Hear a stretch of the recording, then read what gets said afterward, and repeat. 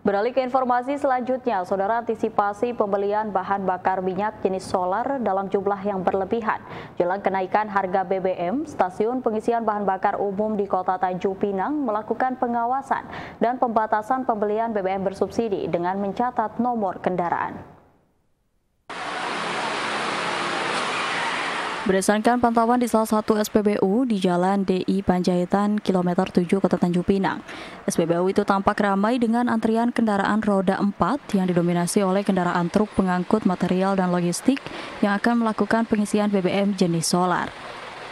Mayoritas konsumen di SPBU ini sudah menggunakan kartu elektronik dalam melakukan transaksi pengisian BBM.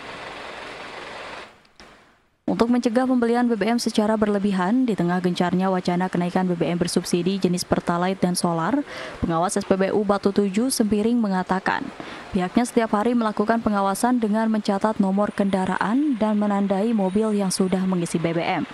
Apabila ada mobil kedapatan melangsir solar subsidi, pihak SPBU akan tegas mengusir mobil tersebut.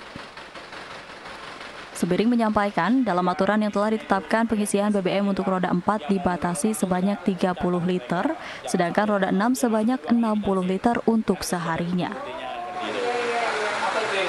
Kita lihat plat BP-nya, jenis kendaraan, jam masuk dia, mana jenis kendaraan. besoknya datang lagi kan? Besoknya datang lagi itu sudah dia kembali.